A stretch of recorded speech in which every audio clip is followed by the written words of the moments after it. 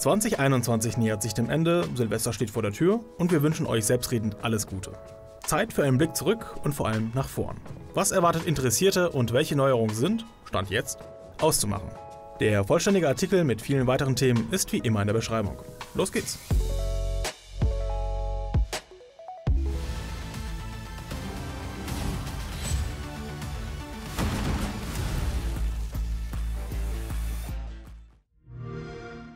Eins ist klar, die aktuelle Situation auf dem Hardwaremarkt könnte mehr als nur besser sein.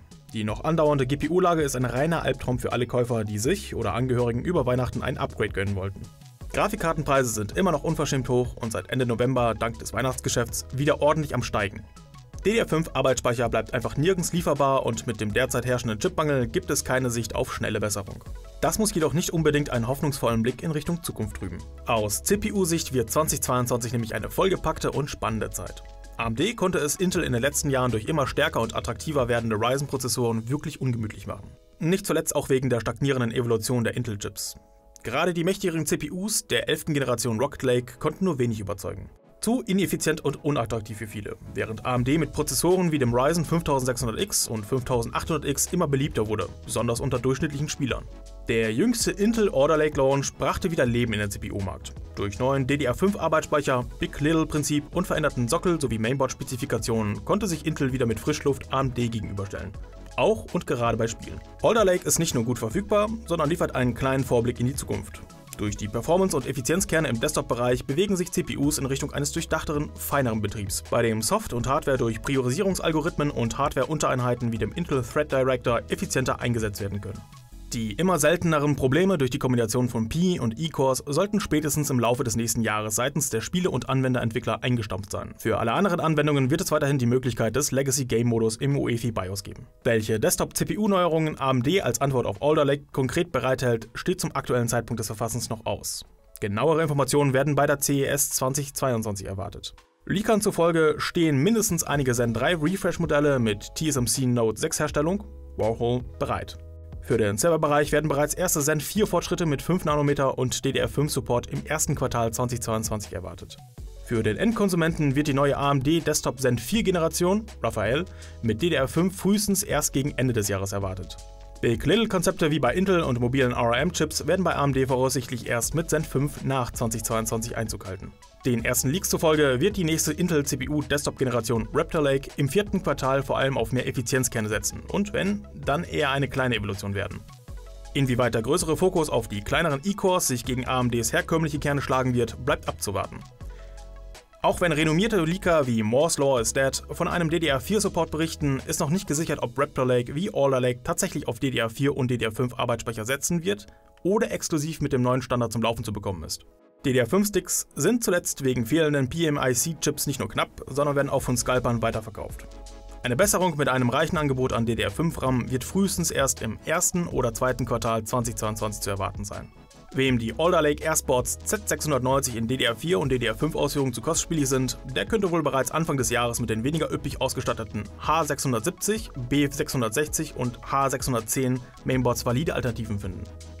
Die nächste große CPU-Revolution wird seitens Intel recht sicher erst mit Meteor Lake und Intel Note 4 2023 erscheinen. Ob bis dahin PCIe 5.0 SSDs für spürbaren Hardware-Fortschritt sorgen, bleibt noch völlig offen.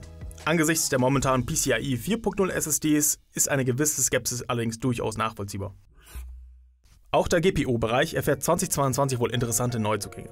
Die Gerüchteküche brodelt und spuckt mit bereits etablierten Leakern wie Hongqing 2020 und Moore's Law is Dead Details zu einer RTX 3050 mit 8 GB GDDR6 128-Bit Speicher aus, die noch Ende Januar erscheinen und ungefähr auf dem Performance-Level einer RTX 2060 liegen sollen.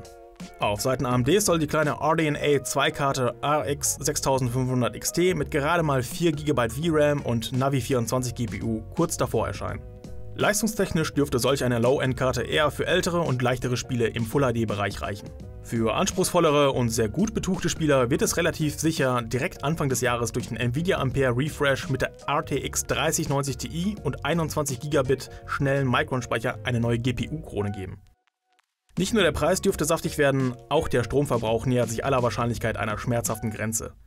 Eine Grenze, die durch Nvidias nächste GPU-Generation Lovelace noch weiter in problematische 550 Watt Höhen getrieben werden könnte. Ein Lovelace Release 2022 ist nicht in Stein gemeißelt. Momentan sollte man frühestens mit dem letzten Quartal rechnen.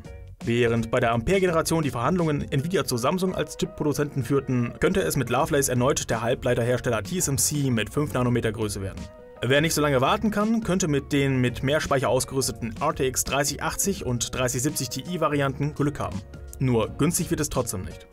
Nvidia selbst äußert sich übrigens auch eher nüchtern. 2022 wird also garantiert nicht das Jahr des übermäßigen RTX Milch- und Honiglandes. Intel-CEO Pat Gelsinger kommuniziert ein Dogma gebetsmühlenartig. Wenig überraschend so als CEO. Intel hat Ambitionen und will in weitere Marktbereiche expandieren. Für hoffentlich ansehnlichen Trubel dürfte der neue GPU-Mitbewerber mit dem im ersten Quartal erscheinenden Xe HPG Arc Grafikkarten sorgen. Xe steht für die neue skalierbare GPU-Architektur von Intel. HPG schlicht für High Performance Gaming. Arc wird der Marketingname der GPU-Reihe. Die erste Iteration erscheint voraussichtlich bereits Ende des ersten Quartals mit der Intel Arc Alchemist-Reihe für Mobilgeräte. Die Desktop-Varianten sollen kurz danach folgen. Die auf die Folgejahre fallenden verbesserten Xe-HPG-Kerne werden auf die Namen Battlemage, Celestial und Druid hören. Statt auf die eigene Intel 10 Nanometer Chip-Herstellung setzt die erste Xe-HPG-Version auf TSMCs Node 6 Verfahren. Welches Performance-Level HPG letztendlich maximal erreicht, ist noch nicht offiziell verkündet. Raytracing soll aber unterstützt werden. In der Intel Let's Play-Präsentation werden zwar keine Benchmark-Ergebnisse gezeigt, allerdings sind unter dem Anschauungsmaterial auch Spiele wie Metro Exodus, Forza Horizon 4 und Crysis Remastered vertreten. Was zweifellos bei schwacher Hardware helfen wird, ist Intels Open Source Upscaling XE Supersampling, kurz XESS, das mit den entsprechenden Upscaling-Technologien von AMD und Nvidia mithalten soll. Ohne Software nützt auch die beste Hardware nichts. Inwieweit Intel mit den Xe-GPUs überzeugen kann, hängt nicht zuletzt auch von den ARC-Treibern und XeSS ab. Um mit den Software-Suits und Upscaling-Methoden von AMD und Nvidia mithalten zu können, wird das technische Team von Intel brillieren müssen. Die ersten Vergleichsvideos und Bilder mit XeSS können sich durchaus sehen lassen. Doch auch die Konkurrenz schläft nicht.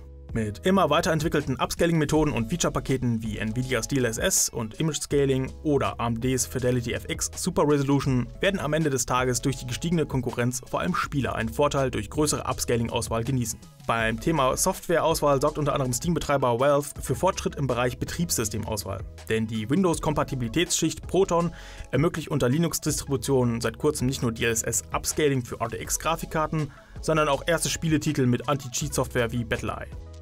Die Fortschritte von Wolves Proton im Linux-Spielesegment graben den Nutzern eine vielfältigere Alternative zum klassischen Windows 10 und neuerdings Windows 11. Eine größere Unabhängigkeit vom Microsoft-Betriebssystem gibt Valve unter anderem auch mehr Möglichkeiten, in andere Bereiche wie dem Handheld-PC Steam Deck mit Linux Arch zu expandieren.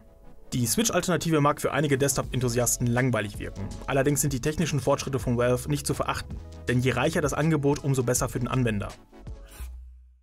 Besonders für Spieler ist Hardware logischerweise nur die halbe Miete. Indie-Titel wie Stardew Valley werden auch ohne High-End-Komponenten problemlos spielbar sein. Fordernde Gerüste wie die Unreal Engine 5 hingegen werden nicht nur durch leicht implementiertes Raytracing und Upscaling für schnaufende Rechner sorgen, sondern auch durch Detailarbeiten bei Polygonzahl und feinere Sichtweitenmechanik visuell beeindruckendere Ergebnisse liefern können. Erste Tech-Demos wie die Matrix Awakens Vorstellung für Konsolen zeigen bereits jetzt, wie hochwertige Spieleproduktionen 2022 aussehen können. Zu den bekanntesten Unreal Engine 5 Titeln gehören Stalker 2, Senua's Saga Hellblade 2, Black Myth Wukong und äh, ja, auch Fortnite.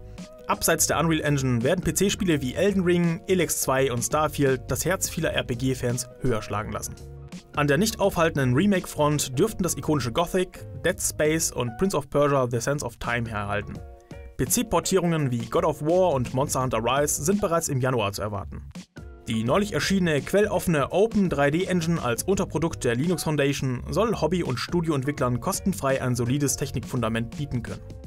Das Projekt wird unter anderem vom bekannten US-Giganten Amazon und weiteren Mitgliedern der Open 3D Foundation unterstützt. Bis die ersten fertigen Titel mit der durchaus hochwertig wirkenden Engine erscheinen, dürfte allerdings noch einige Zeit vergehen.